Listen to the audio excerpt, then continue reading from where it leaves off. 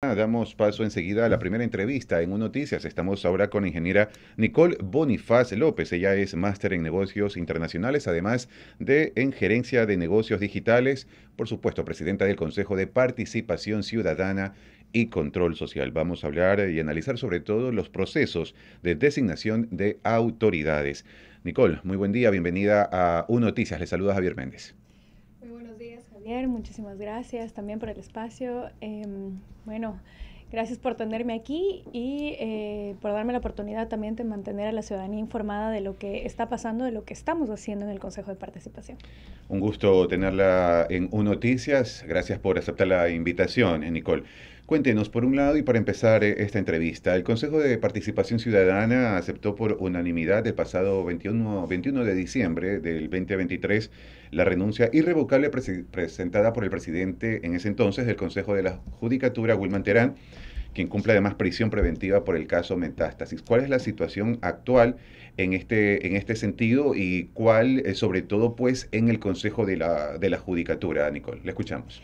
Sí, gracias Javier. Bueno, lo que nosotros hicimos eh, no fue aceptar la renuncia, lo que hicimos fue eh, poner en conocimiento, o yo como presidenta al recibir la renuncia del señor Terán, eh, puse en conocimiento de todo el Pleno y pues oficializamos a la Asamblea Nacional, al presidente del Consejo de la Judicatura, pues el señor encargado Álvaro Román, y em, también a, al presidente de la Corte, Nacional, el señor Saquicela, para que tengan conocimiento que he recibido esta renuncia. Eh, nosotros no tenemos la competencia de aceptar renuncia. Recordemos que la, la autoridad nominadora encargada es el Consejo de la Judicatura, ¿no? Entonces, por ese lado, eso fue lo que hicimos. Eh, lo que corresponde ahora es eh, la próxima semana nosotros vamos a tener un pleno eh, para conocer también hemos recibido, bueno, he recibido en este caso un oficio del señor Román en donde ya eh, nos dice que existe esta ausencia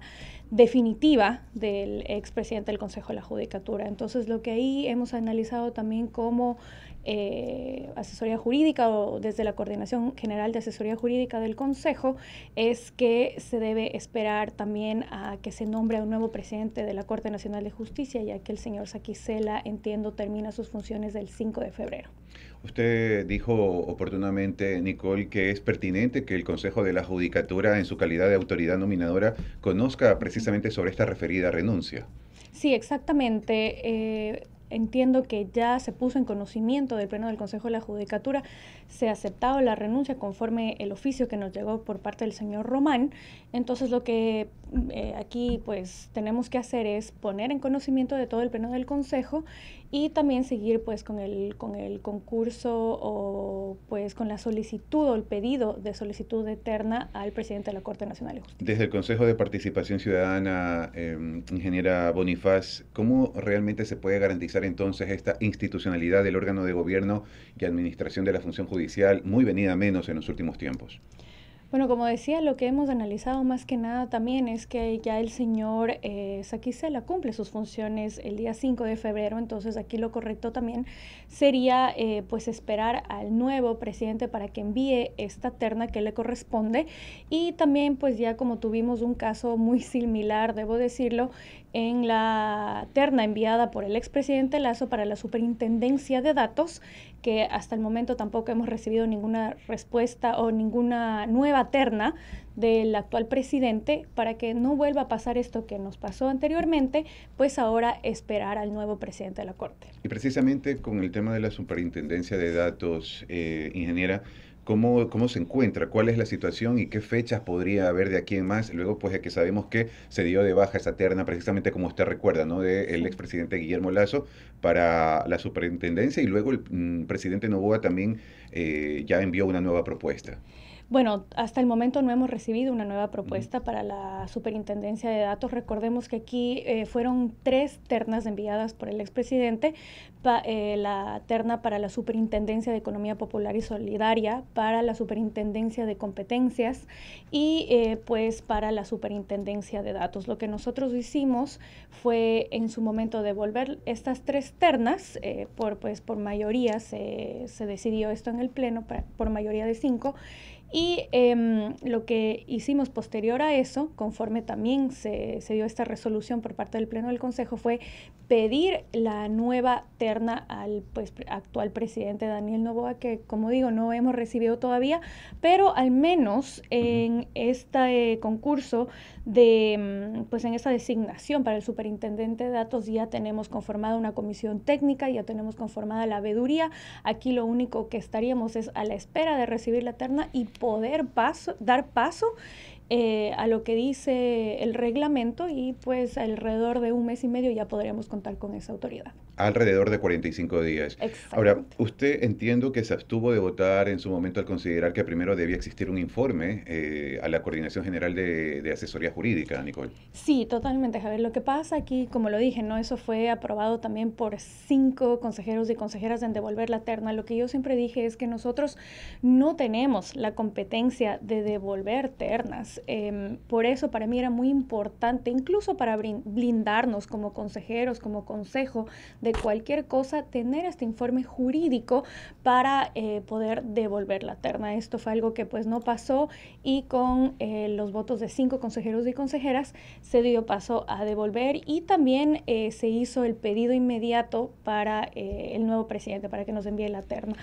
Pero aquí sí debo decir, las otras dos em, pues ternas sí se devolvieron porque no cumplían con lo que te dice el reglamento, que primero tienes que tener un reglamento creado para poder recibir una terna y segundo, al menos eh, la superintendencia de competencias, el, señor que se encuentra ahora, eh, todavía no cumplía el, pues su, eh, su, su designación.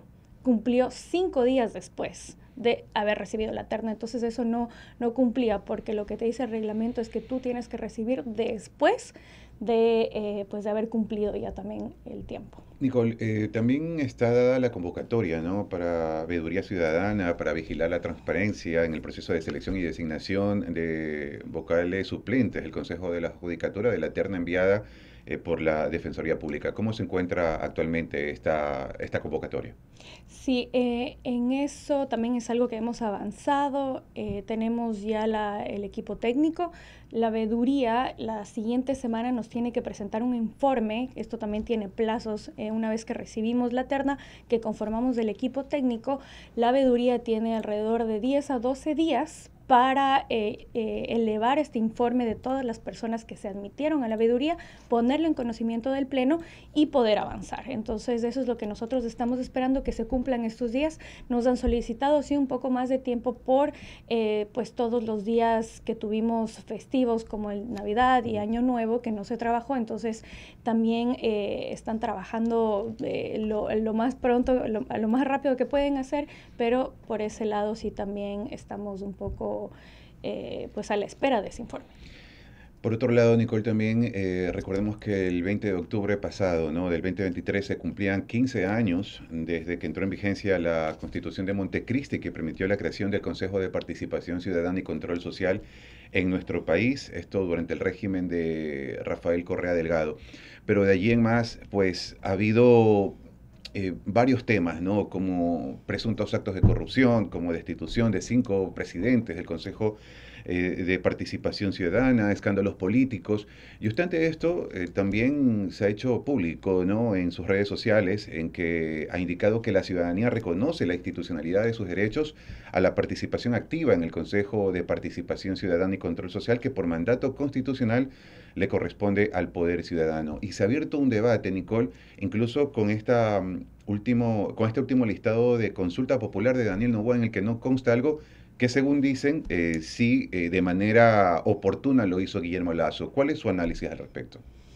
Bueno, eh, en cuanto a o la eliminación o quitarle la atribución de designación de autoridades al Consejo de Participación, es algo que yo me he venido pronunciando incluso desde campaña, ya que recordemos que mi candidatura se dio eh, o mi designación se dio al mismo momento de tener esta consulta popular. Siempre lo dije, eh, no estoy de acuerdo con que la designación de autoridades regrese a una Asamblea Nacional, porque nosotros como Consejo de Participación somos una institución eh, apolítica, no deberíamos ni, eh, ni respondemos a partidos políticos o intereses políticos, al menos eso, eso, es algo que yo he venido muy firme diciéndolo, que en esta administración eso es algo que no pasará.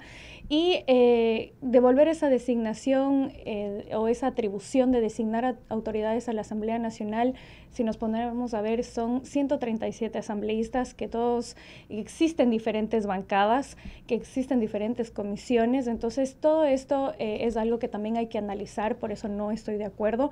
También eh, recordemos que tuvimos esta pregunta de que los consejeros no seamos electos también por voto popular, lo cual tampoco estoy de acuerdo. ¿Por qué? Porque nosotros somos una representación ciudadana, entonces los ecuatorianos y las ecuatorianas son los que deben elegirnos.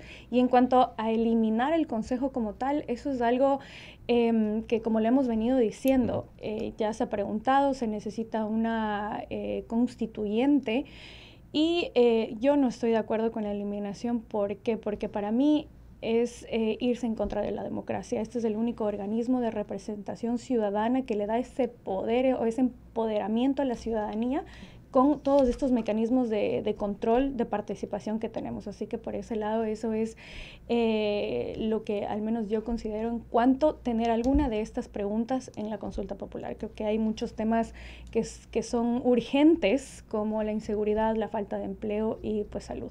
Está con toda la fuerza necesaria entonces, Nicole, para seguir sirviendo a la ciudadanía y sobre todo al país desde el Consejo de Participación Ciudadana. Cumple tres meses usted eh, en, al frente de la presidencia del Consejo de, Participación Ciudadana. Hay varios análisis ¿no? que mencionan que, y recuerdan sobre todo que el proyecto de Montecristi obedeció a una visión ideológica de quienes en ese momento ostentaban el poder, lo mencionaba hace, hace un momento, y que el espíritu del Consejo era precisamente eso, ¿no? despolitizar la designación de autoridades de control y de fiscalización del Estado, pero en la práctica eh, el organismo ha adolecido de una falta de transparencia, de confrontaciones y la politización en la designación de autoridades. Es momento ya del cambio definitivamente eh, al frente del Consejo de Participación Ciudadana, Nicole.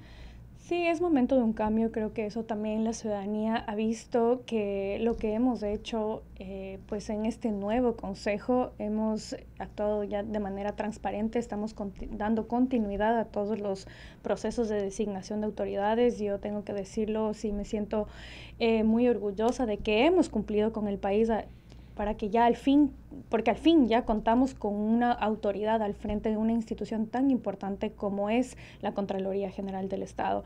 Tenemos otros concursos también que sí, que seguimos avanzando. Lastimosamente, eh, sí es importante que la ciudadanía conozca que por todas estas acciones de protección es es por algo que no hemos avanzado y no solamente nosotros, sino las pasadas administraciones. Y siguen existiendo todos estos abusos de garantías jurisdiccionales, constitucionales. Nosotros ni los próximos consejeros y consejeras van a poder avanzar. Así que eso es importante también eh, recalcar. Nosotros por nuestro lado eh, lo que hacemos es trabajar apegado a la ley, a la constitución, a nuestros propios reglamentos.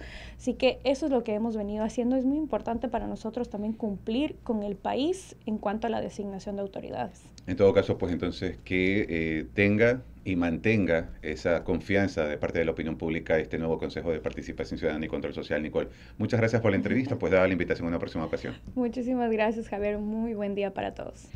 8 horas 17 minutos. Hemos estado con la ingeniera Nicole Bonifaz, presidenta del Consejo de Participación Ciudadana y Control Social.